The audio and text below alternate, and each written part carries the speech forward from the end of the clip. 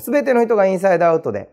えー、自分が情熱を注げるところ、内側の響きに、えー、を中心としてやっていける、そんな組織を作るというのが、えー、僕の理想というかね、目指しているところです。だから、だからこそ、そのためにこのパートナー養成会の最低限のスキルをつけるっていうね。あの、やっぱり責任を自由、好きな方に生きていくっていうことは自由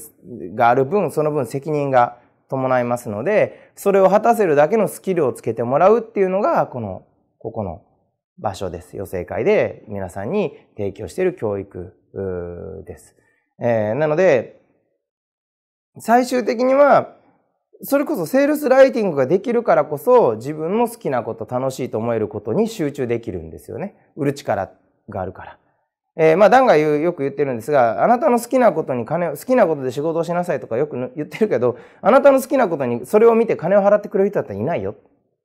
そのあなたの好きなことが社会に対して価値を提供できるようになって初めてそれは好きなことで生きていけるようになるんだから、みたいなことを言ってて。で、そのためにはやっぱりその売るという力が重要になってくるから、売るという力をつけたら本当に好きなように楽しいことで生きていけますよ、みたいなことをね、えー、言っていましたが。あそのための力をつけてほしいなというふうに思って作っているカリキュラムが今のカリキュラムです。